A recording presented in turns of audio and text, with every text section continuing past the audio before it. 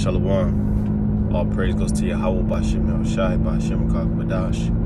The bonus goes into the apostles and elders, a great millstone that taught me the truth. And much love and peace and blessings goes out to all you hope for elect brothers that are teaching the word of Yahweh Bashem El Shai in truth and sincerity. So I'm going to do this uh, in transit lesson, which I want to speak about this movie. Hollywood uh, just released a preview about.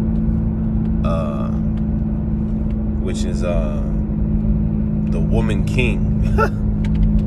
Fucking joke, man. Which is basically a movie about, uh, I believe this had to be 19th century West Africa, and where there was a kingdom where, due to, uh, I believe, the slave trade and a lot of their men dying in a certain war these women were raised up or recruited as female warriors. And these would have been, of course, so called black women, right? Because the origins of the most black women of the United States, so called black women, would be West Africa. You know, of course, the slaves were taken from other places around the world, like, uh, what you call it, uh, um, Spain and so forth in parts of Europe. But um, you know, these women had uh, joined a, a fighting force, and they were an actual thing. But you got to think, why retroactively in 2022? They're deciding to do of all storylines throughout history. Oh, yeah, this war over here, that war over there, blah blah blah. They are choosing to do this type of story with this type of narrative. You know why? Because they, the Hollywood, which is a, which is a, a branch of the elites, or I should say. Uh, they're controlled by the elites. They're controlled by higher forces that use Hollywood to as a tool for their propaganda and brainwashing. Why? Because they want black women to be in masculine roles. They don't want the Israelite woman to be in order. It's all about, for them, it's all about the inversion in the replacement of what is right with what is wrong. Because a true place of a woman is not to be on a fucking battlefield. They're doing this movie in honor of this barely known historical band of women and giving them clout here in 2022. To view them as some type of give them some type of esteem among women. And I just seen uh yesterday from the post of this fucking I won't even call this woman a swirler. She's just a hater of fucking black men. But she all she does is post negative posts about so-called black men and puff up the heads of black women, she posted a picture of a Detroit, fucking Detroit police force uh, of all black women, man. And can you imagine what it would be like working there if you was like one of the, which I don't know if it was just the black woman of that police force or if it was a police all black woman police force. But uh, can you imagine what it would be like to work there? Or what would it be like if you had to get a call from that fucking department or you if you had to call that department to help you. Finished. But the point i'm making is that narrative plays into what they're doing in the earth. We're really in western countries in america and europe. Because even in west africa itself they ain't going for that shit. They ain't letting women join their army. They, they, boko haram don't got female fighters. You see what i mean but they're they're they're surely trying to. Esau wants to pollute the entire world with that type of madness. In a woman's place, I haven't said it, is not on the front lines or a battlefield fighting, letting her voice be heard, and all this other shit. No, a woman's place is in the home. Scriptures tell you if a woman was to learn something, she should learn from her husband at home. Let her guide the children. Let the older women teach the younger women. If a woman's role is to teach, it would be to teach younger women how to properly serve their husbands and teach them how to be better mothers. You know, mothering skills. That's what, a, what women are supposed to teach, and that is an essential and vital, important, most dutiful role of a woman. And when you don't have that society, your culture becomes out of whack. Because the the most basic unit of a nation is the family. So if you got a man who's out on his purpose doing what he's supposed to do. And then you got women, you got women out of their, out of order, trying to replace the role of a man.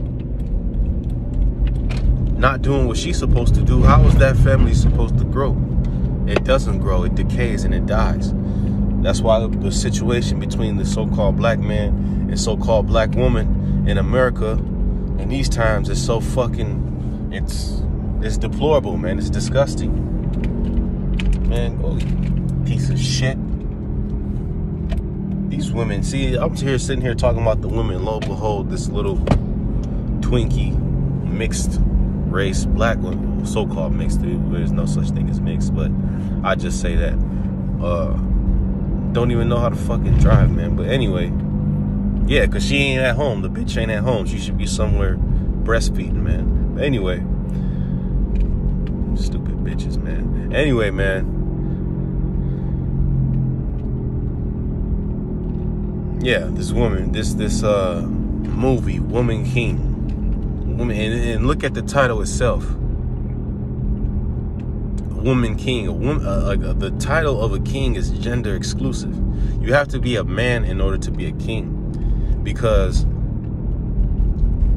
the female position of rulership is always you know it comes with a different title of course king and queen is english are english terms but they're again they're gender exclusive. You can't have a dude who's the ruler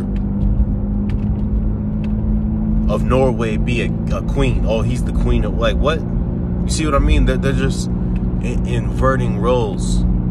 You see, uh, it's a part of it plays into, of course, trying to brainwash black women and women in general. And, and at this point, man, these women are fucking gone.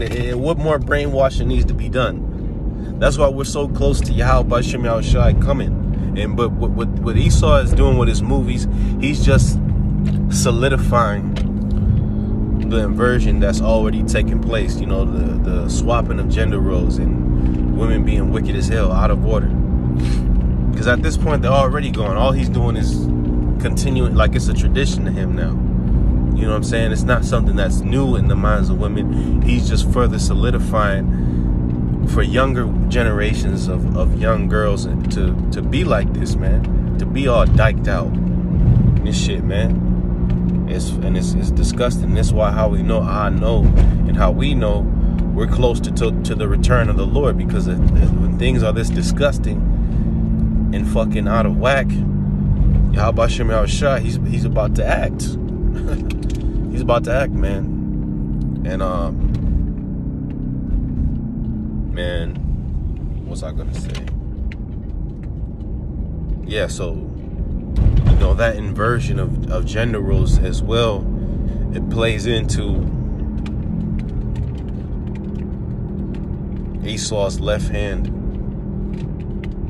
religion, which is Satanism and witchcraft, idolatry, because the, the gods of the heathen nations a lot of the heathen uh, gods, when you take a look at them, the pagan gods, they're always into uh, homosexuality and and um, uh, for example, a, a, male god could become a female god. He can somehow magically change his form and appearance, or a female god can conversely become a, a male god. You see what I'm saying? So they are reflecting that mindset and that religion in the minds of of the people. so that they can get power on the left hand. Do you see what I mean? So this is why these type of things are being done. So Woman King, a fucking joke. And yeah, black women think like that. They think they're high and mighty and bad. But you know, a great humbling is coming to these women of these countries that walk with their nose up, proud. You know what I'm saying? Heads held high, looking at men in the eyes, wicked as fuck. Uh, humbling is coming to you because uh, the the the idols. The scriptures tell you that Baal is confounded, Merodach is broken down. Hollywood pushes the vibration of these these these pagan gods through their movies. You know what I'm saying? Of course, it wouldn't be. It doesn't have to be a movie about you know straight up idols. It's done like you know scenes in the movie and how characters interact with each other, how women act, how men act in the movie. You know what I'm saying? Little subtle things they try to put in there to program people. You know, and that's again going back to their idols. So all of that is going to be confounded when Yahweh Shem Shah starts bringing this judgment. When he brings famine and more pestilence, look at the M the the MP that people are getting all around their mouth, the mopo, fucking people up.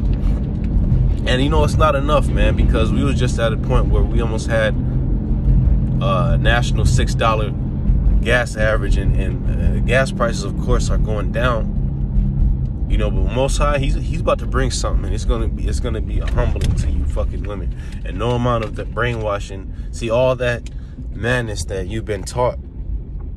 Jake is gonna learn that it it, it, it has gotten them nowhere. You know what I mean? So that's just my thoughts on this movie. It's a bunch of madness once again, because I mean Hollywood, they just come out with a bunch of dumb shit these days. So all praise goes to Yahweh Shem Shai. Shalom.